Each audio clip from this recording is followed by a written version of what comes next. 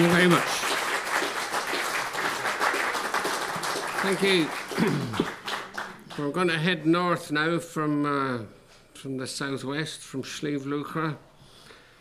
When you head north there, from that part of the world, you come to a big river called the Shannon, and once you cross the Shannon, you're in uh, into County Clare.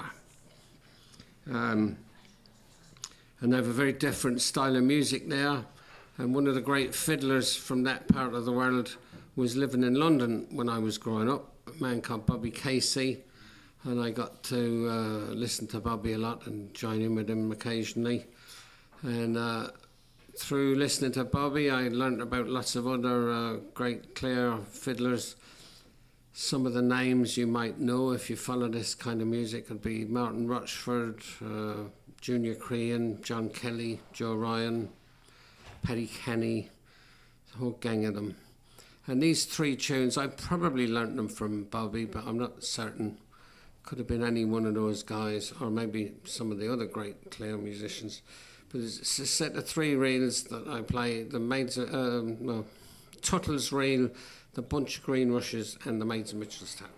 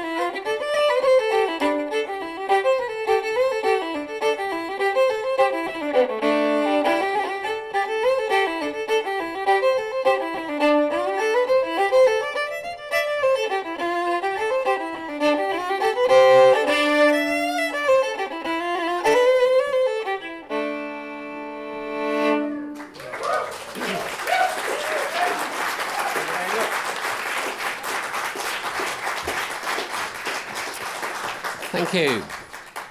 So another another uh, character from those London days was a woman called Lucy Farr.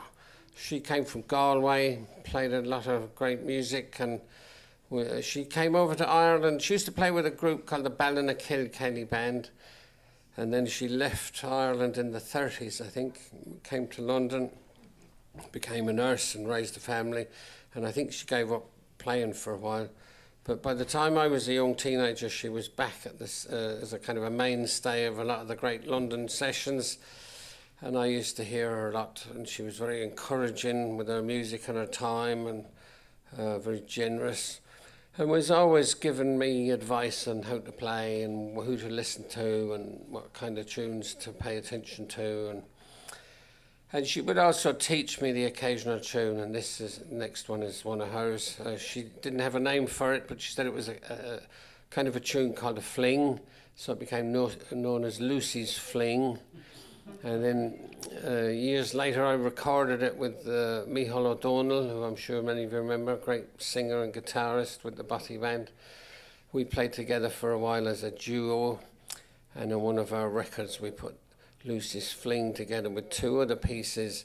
One was a Scottish piece of mouth music called S'iomadh Rud A Chunnaic Mi, which uh, unfortunately I don't know what that means but my hunch is you don't know either. So, um, and then the third one is is kind of a hornpipe, but it was also the tune to a very popular novelty song. Um, Some say the devil is dead, and the next line of the song is "and buried in Killarney."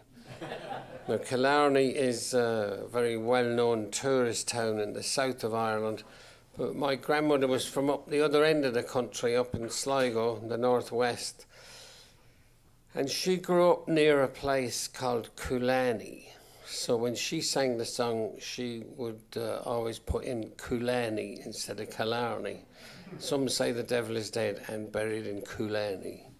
And I think to the day she died, she was very proud of the fact that she was from the same parish where the devil was buried.